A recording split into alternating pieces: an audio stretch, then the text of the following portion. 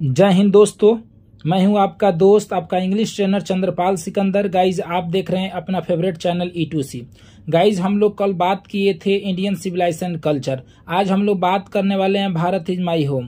तो गाइज़ जैसा कि आप जानते हैं कि प्रोज सेक्शन का chapter number one Indian civilisation culture के बारे में हम लोग ऑलरेडी डिस्कस कर चुके हैं। आज गाइज़ बारी है भारत इज़ माई होम के बारे में डिस्कस करने की। तो चलिए गाइज़ बिना देरी की हुए चलिए स्टार्ट करते हैं।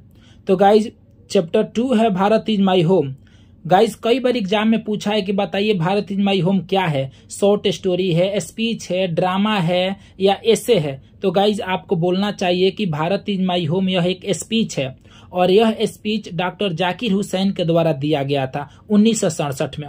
गाइज़ डॉक्टर जाकिर हुसैन के बारे में बताया जाता है कि डॉक्टर जाकिर हुसैन एक बहुत बड़े एजुकेशनिस्ट थे, साथ ही साथ एक ग्रेट फ्रीडम फाइटर भी थे।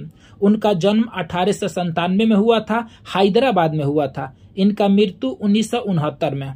यह भारत के थर्ड प्रेसिडेंट थे। उन्नीस सौ सड़सठ में गाइज़ राष्ट्रपति पद पर शपथ लिए थे। उन्नीस ईस्वी में इनको भारत रत्न से सम्मानित किया गया था। उससे पहले गाइज़ राष्ट्रपति बनने से पहले, ये बिहार के गवर्नर भी रह चुके हैं। उन्नीस सौ सत्तावन से लेकर उन्नीस सौ बासठ तक ये बिहार के गवर्नर थे। गाइज़ मैं आपको कुछ और इनके बारे में बता रहा हूँ। गाइज़ ये जामिया मिलिया यूनिवर्सिटी के को फाउंडर भी थे। इनके बारे में कहा जाता है कि हिंदुस्तान के, यानी भारत के फ़र्स्ट मुस्लिम प्रेसिडेंट थे। क्योंकि इनसे पहले डॉक्टर सर्वपल्ली राधाकृष्ण थे, उनसे पहले डॉक्टर राजेंद्र प्रसाद थे, दोनों के दोनों हिंदू थे, ये guys first Muslim president of India थे, डॉक्टर जाकिर हुसैन। इनके बारे में गाइज़ कहा जाता है कि चार डेट याद करना है। अगर आप Bihar board guys Bihar board के स्टूडेंट है, आपका मिशन 2024 है आप बेहतरीन ढंग से तैयारी करना चाहते हैं तो चार डेट आप याद रखेंगे। पहला डेट आपको याद करना पड़ेगा अठारह सौ संतानवे गाइज़ अठारह सौ संतानवे में इनका जन्म हुआ था।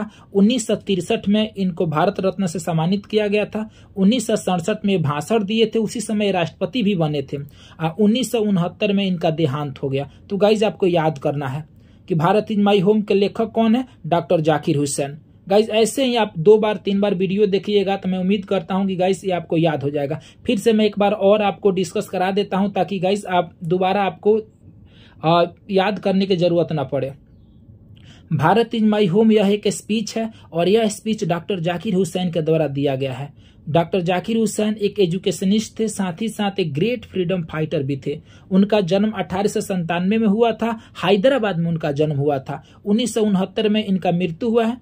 गाइस ये भारत के थर्ड प्रेसिडेंट थे।